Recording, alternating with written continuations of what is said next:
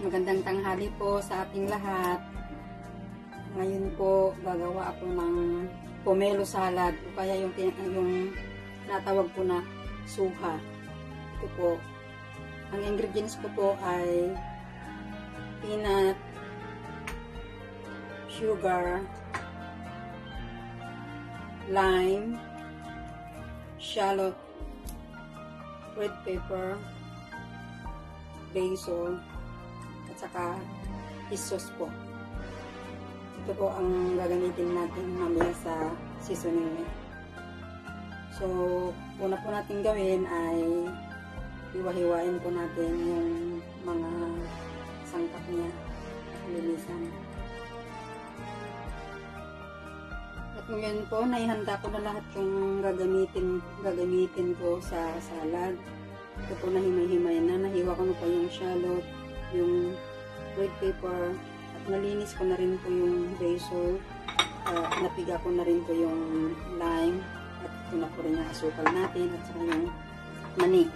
Kaya, ang isusunod natin gawin ngayon ay yung pumelo. Babalatan po natin ito.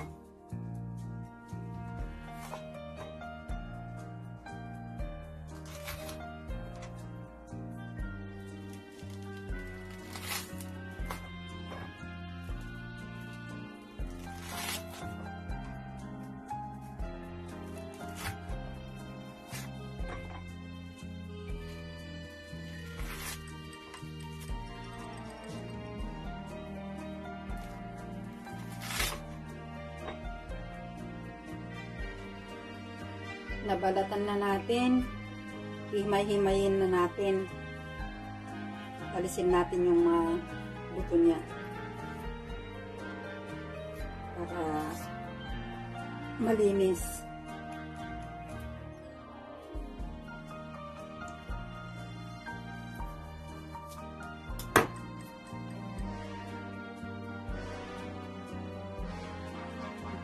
Malapit na natin matapos himayin. I-arrange na po natin sa plato. Ito mailagay na natin mga sangkap niya.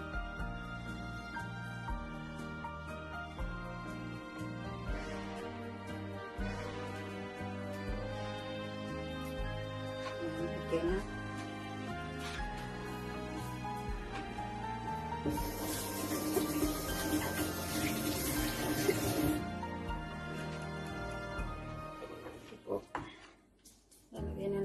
Dito sa plato.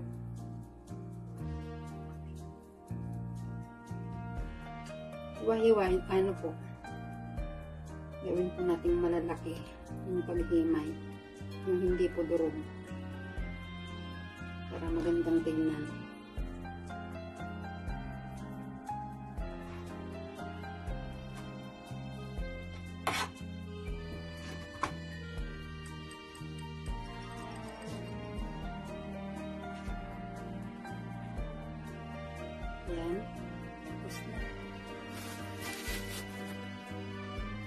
Gawin po natin yung sauce niya. Ito po yung lime. Lalagyan po natin ng asukal.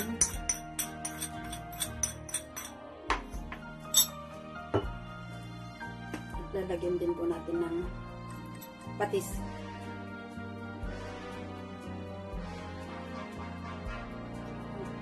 dalawang kutsarita. Ayan.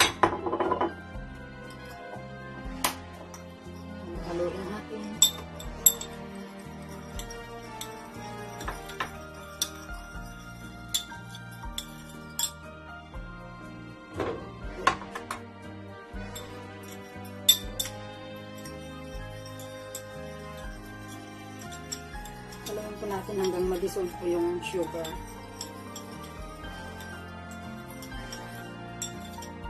po siya, lagyan na natin yung sauce niya.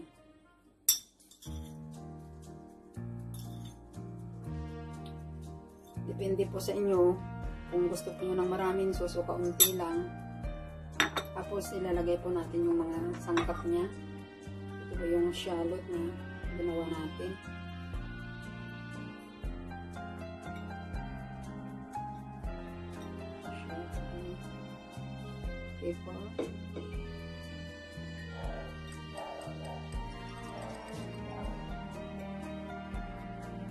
Tapos ito po yung, kaya po may basil po. Ito po yung pang decoration natin. Para maganda po yung prese- presentation ng pagkain.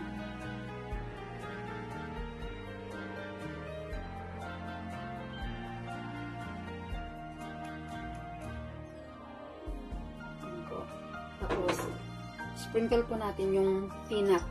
Dito lang po sa ibabaw niya.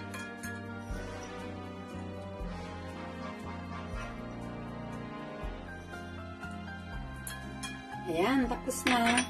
Ito po ngayon ang outcome niya. Yan po. O, diba? Ang ganda. At saka, pwede na rin natin tikman. Tikman po natin.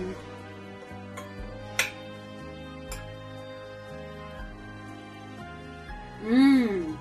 So yummy! Yan po, tapos na naman po yung ating recipe sa araw na ito. Maraming salamat po sa panonood. See you again po sa next na video na i-upload ko. Marami pong salamat.